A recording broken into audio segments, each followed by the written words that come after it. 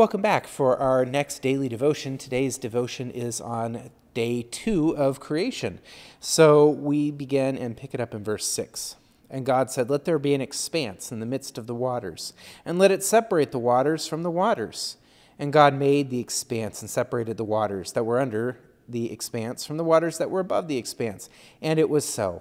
And God called the expanse heaven, and there was evening and there was morning the second day.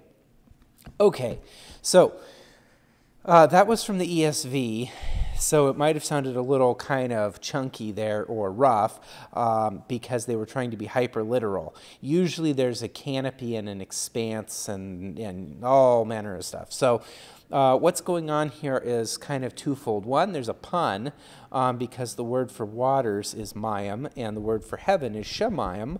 So we're just kind of doing a rhyming kind of punny thing. Again, this is helping those with the um, oral tradition, oral history, tell and learn to memorize it. It's not that this didn't happen, it's that we have artistic license as we write out what happens to do fun things like that to make it easier to remember, to tell a good story. Again, not that it didn't happen exactly this way, just we were a little more poetic with it. So there's that pun and the play on words and the mayim and the shemayim, and we're getting separated out.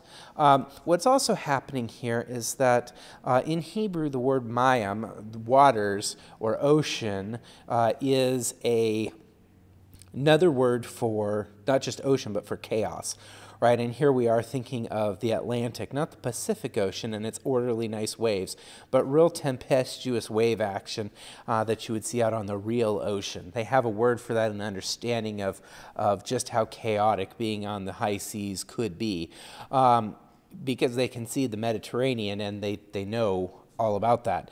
So um, the scheme here throughout all of Genesis 1 is God bringing order, right? God's Holy Spirit in the first day of creation hovering over the waters. And here in the second day, right, the waters and the chaos get split and moved, and the waters and the chaos get kind of rearranged and made, made into an orderliness. And so that's going to be a theme throughout all of creation. So, uh, what do we do with this devotionally?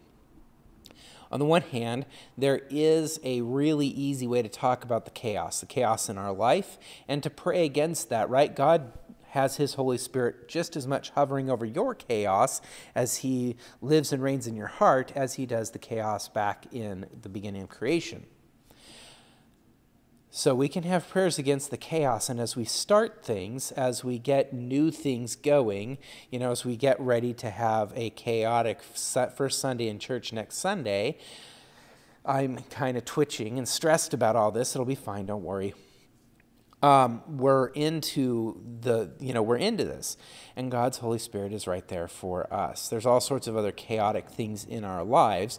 And here's the promise that God's going to split it up. God's going to break it up and is going to put order eh, over that chaos um, if we ask Him to, if we allow Him to, right? It's not, you know, uh, it's not that he can't it's that um, or that we're ultimately sovereign in this it's that you're holding your little chaos ball so tightly and jesus keeps trying to take it away and you keep taking it back stop you know stop grabbing and snatching as we say to the little kids and and just just let God do it.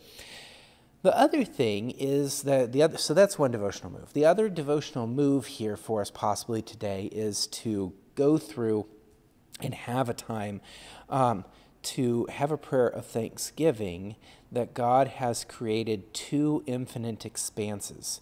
So the sky is infinite, and I know, I know the sciencey thing. It, no, it's not, and no, neither's the ocean.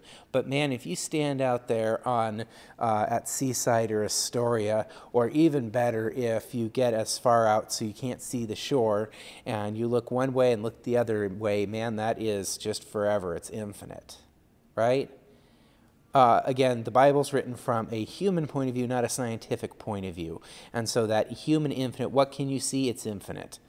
There is a time and a bit of, of moment to just sit down and enjoy and to have some prayer and to adore the God who makes the infinite. We've had some things here recently that feel infinite, like the infinitely long house arrest, the infinitely long masking, the infinitely long when is this stupid virus going to be over, those aren't the infinites I'm talking about because they're actually finite. They just feel infinite and soul crushing. I'm with you. Um, but, sorry, just hit my mic. Um, different setup today. Um, but those are the infinites I'm talking about are all of that long stretch, right? The God who's so big, he can make this infinite, infinite expanse of sky, infinite expanse of ocean, infinite expanse.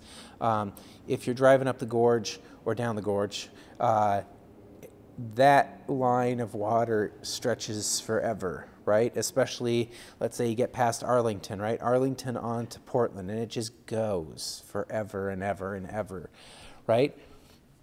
That's the God of the infinite expanse. Or finally, um, not just the sky, but the night sky, right? And here we're going to intentionally evoke Abraham, right? Uh, out here in Battle Ground, the light pollution is a little better than it is in Portland. You can actually see stars. So the next calm day, go out and look up at the stars at night. That's the infinite we're talking about. And that comes close to being infinite.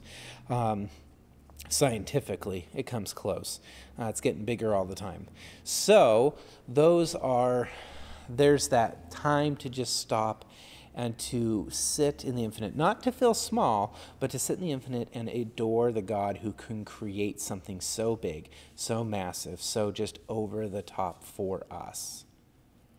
There's our devotion on day two. Have a wonderful day. We'll see you back here next time.